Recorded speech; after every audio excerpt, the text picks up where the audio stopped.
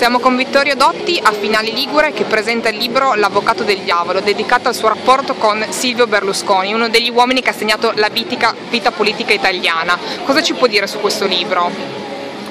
Beh, è un libro, eh, come dicono nella prefazione, è un libro non politico, cioè è un libro che non vuole fare un'analisi politica, non vuole fare una storia della politica di Berlusconi, ma vuole entrare nel rapporto umano tra chi ha scritto il libro è Berlusconi. Io sono stato l'avvocato suo per 16 anni, eh, quindi molto prima dell'ingresso in politica e quindi abbiamo una lunga storia di rapporti sul piano economico, sul piano giudiziario, sul piano dei contratti, dell'espansione di questo gruppo e mi sembrava giusto portare a conoscenza del grande pubblico perché è fatto tutto di episodi e di circostanze che la, che la gente normalmente non conosce e che invece secondo me sono importanti per poter valutare in maniera esatta il personaggio. Perché diciamo che quest'anno sono trascorsi vent'anni dell'entrata politica esatto, di Berlusconi. Sì, posso dire che il libro esce in concomitanza col ventennio della discesa in campo di Berlusconi, che è stata nel 94.